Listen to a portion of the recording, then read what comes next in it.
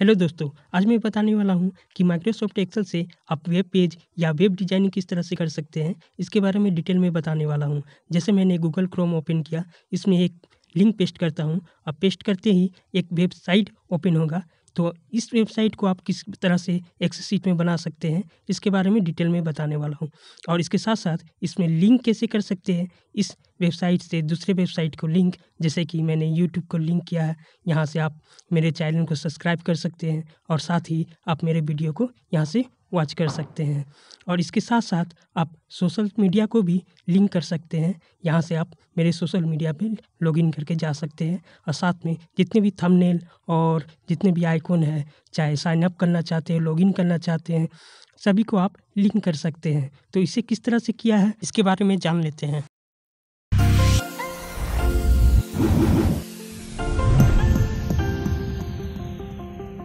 सबसे पहले मैं माइक्रोसॉफ्ट एक्सेल ओपन कर लेता हूँ।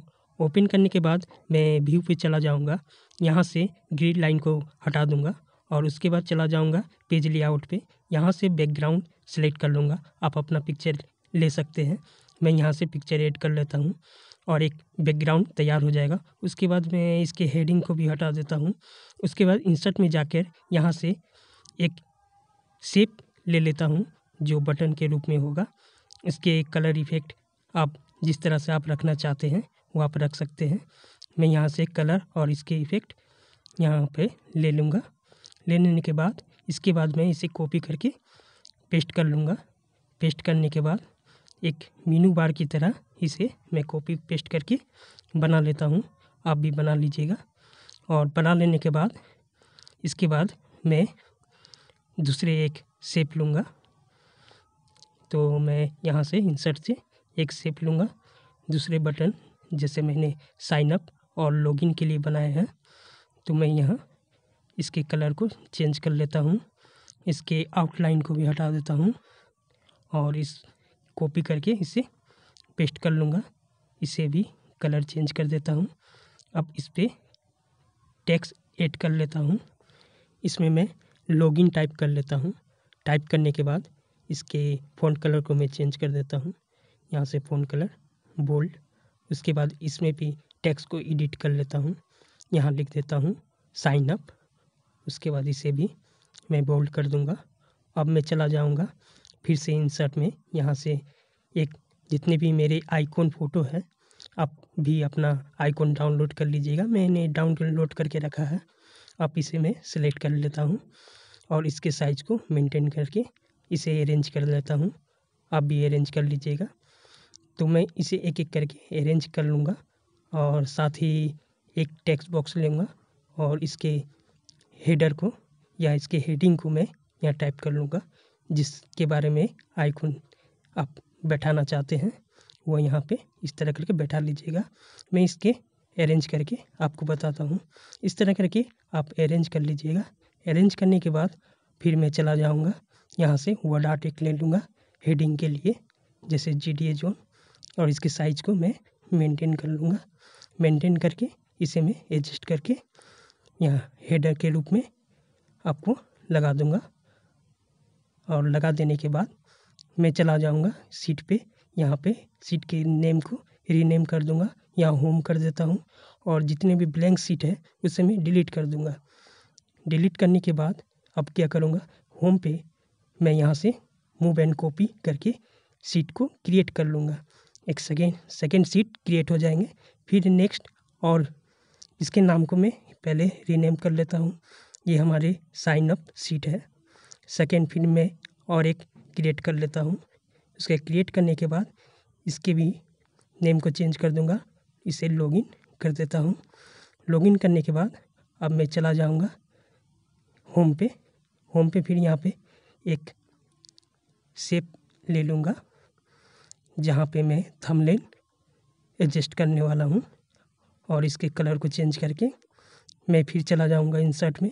यहाँ से मैं जितने भी थंबनेल डाउनलोड किए हैं, आप लिंक भी कर सकते हैं, लेकिन उसके लिए कोडिंग की ज़रूरत होगी। तो मैं आपको सिंपल वे में बताना चाहता हूँ। तो आप जितने भी थंबनेल हैं, उसे डाउनलोड कर लीजिए और यहाँ पे सारे को ऐड कर लीजिए। ऐड करने के बाद इसके साइज़ को मेंटेन कर लीजिएगा और अरेंज कर दीजिएगा। तो मैं इसे अरेंज करके आपको फिर से बताता हूँ। तो जब इसे आप अरेंज कर लीजिएगा तो आपके कुछ इस प्रकार के हो जाएँगे।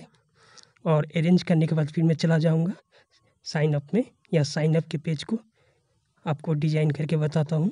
इस तरह करके आप सेल को मर्ज करके यहाँ पे हेडर दे दीजिएगा साइन अप और इसके बाद इसके सारे डिटेल जो भी है नेम फुल नेम हुए ईमेल आईडी उसके बाद फ़ोन नंबर इस तरह करके आप पूरे डाटा का एंट्री कर लीजिएगा। तो मैं डाटा का एंट्री एक एक करके कर लेता हूँ और पासवर्ड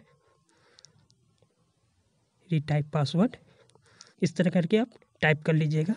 मैं पूरा एडजस्ट कर लेता हूँ पहले। एडजस्ट करने के बाद इस तरह का आपके पूरे बन जाएँगे। इस तरह ऐड करने टेक्स्ट ऐड करने के लिए उसके कलर को वाइट कर लीजिएगा। इस तरह करके आपको पूरा वेबसाइट तैयार हो जाएगा। अब मैं चला जाऊँगा लॉगिन सीट पे। अब यहाँ पे लॉगिन के पेज को भी मैं बना लेता हूँ।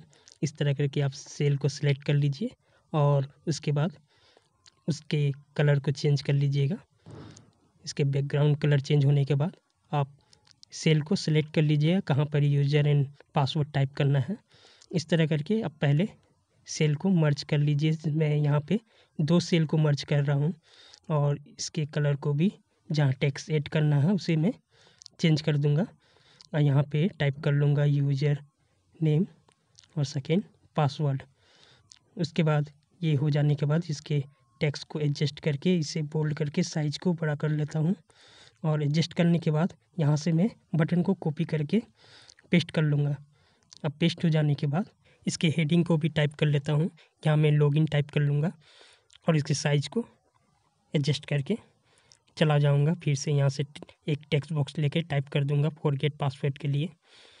उसके बाद इसे कलर चेंज करके इसे कॉपी कर लेता हूँ और यहाँ पे लिख देता हूँ if you forget password then click here ये टेक्स एक मैं लेवल दे दूँगा और इसे एडजस्ट कर लेता हूँ। इस तरह करके आप लॉगिन पेज पूरी तरह से तैयार कर सकते हैं। साइन अप भी मेरा तैयार है। अब यहाँ पे मैं लिंक किस तरह से करूँगा? तो राइट क्लिक करके आप चले जाए हाइपर लिंक पे। यहाँ पे सेकेंड ऑप्शन आपको दिखेगा। पेज इन द डॉक्यूमेंट यहाँ से आप अपना सीट या पेज सेलेक्ट कर लीजिए। ये साइन अप के लिए मैं साइन अप सेलेक्ट कर लिया हूँ। इसी तरह से लॉगिन पे राइट क्लिक करके हाइपर लिंक पे जाए। सेकेंड ऑप्शन सेलेक्ट करें। और उसके बाद अपनी सीट को लॉगिन सीट उसे सेलेक्ट करके ओके कर दें। इस तरह करके आपका लिंक क्रिएट हो जाएगा। जब आप जैसे ही बटन पे क्लिक करेंगे तो आपका वो पेज ओपन हो जाएगा। इस तरह करके साइन अप में आ गए फिर चला जाऊँगा होम पे। यहाँ से फिर मैं लॉगिन पे क्लिक करता हूँ तो लॉगिन पेज पे चला जाऊँगा। तो अब मैं क्या करूँगा? होम पे जाने के लिए मैं सीट पे ना क्लिक करके बटन पे होम बटन पे क्लिक करके मैं चला जाऊँगा होम पे। तो उसके लिए मैं इसी तरह का सेम राइट क्लिक करके इस पर हाइपर लिंक कर लूँगा होम को। इस तरह करके एक पेज पे हुए। मैंने जितने पेज बनाए हैं, सभी के होम पे राइट क्लिक करके इसे होम के साथ लिंक कर दूँगा। लिंक करने के बाद इस तरह करके सारे मेरे तैयार हो जाएँगे। तैयार होने के बाद आप जैसे ही मैं किसी भी बटन पे क्लिक करूँगा तो वो लिंक के सहारे उस पेज पे चला जाएगा। ये होम पे आ गए। अब मैं चला जाऊँगा वेबसाइट को किस तरह से लिंक करूँगा तो उसके लिए मैं इस पर राइट क्लिक करके यहाँ फ़र्स्ट ऑप्शन जो आपका एग्जिस्टिंग पेज और वेबसाइट है, वहाँ पे जाके नीचे में यू टाइप कर दूँगा या आप यहाँ पे पेस्ट कर दीजिएगा। इसी तरह सोशल मीडिया पे भी आप लिंक पेस्ट कर लीजिए और इस तरह करके थंबनेल पे भी। जितने थंबनेल उसके वीडियो को लिंक करके पेस्ट कर लीजिएगा। पेस्ट करने के बाद आप चले जाइएगा माइक्रोसॉफ्ट के आइकॉन पे और यहाँ से सेव और यहाँ से अदर फॉर्मेट सेलेक्ट कर लीजिएगा। अदर फॉर्मेट में सेलेक्ट करने के बाद आप पेज जो ओपन होगा, उस पर आप सिलेक्ट कर लीजिएगा सेव एज वेब पेज यहाँ से वेब पेज सेलेक्ट कर लीजिएगा और सबसे पहले आप टाइटल को चेंज कर लीजिएगा। टाइटल नाम, जैसे ये पेज ओपन जो होगा, वो आप किस टाइटल से ओपन होगा तो यहाँ पे मैं जी डी जो टाइप कर लेता हूँ। टाइप करने के बाद आप फिर चले जाइए टूल पे। टूल पे जाने के बाद वेब ऑप्शन पे आ जाइए। वेब ऑप्शन पे आने के बाद पहला जर्नल है, इसे अनचेक कर लीजिए। सेकेंड है ब्राउज़र ब्राउज़र में तीसरा ऑप्शन है, उसे अनचेक कर लीजिएगा, बाकी सभी को क्लिक कर लीजिएगा। और फिर तीसरा जो ऑप्शन है, उस पर चले जाइए।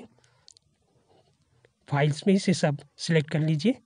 उसके बाद चौथा पिक्चर में, यहाँ पर आप स्क्रीन साइज़ आपका जो है, वो ज़रूर सेलेक्ट कीजिएगा, नहीं तो आपका स्क्रीन का जो वेबसाइट जो आपने बनाए हैं, वो पूरे धुंधले दिखेंगे। इसलिए स्क्रीन साइज़ और पिक्सल पर इंच आप अपने स्क्रीन के हिसाब से सेलेक्ट कर लीजिएगा, करके, उसे ओके करके आप सेव कर लीजिएगा और एक ऑप्शन आएगा यस उसे यस कर दीजिएगा।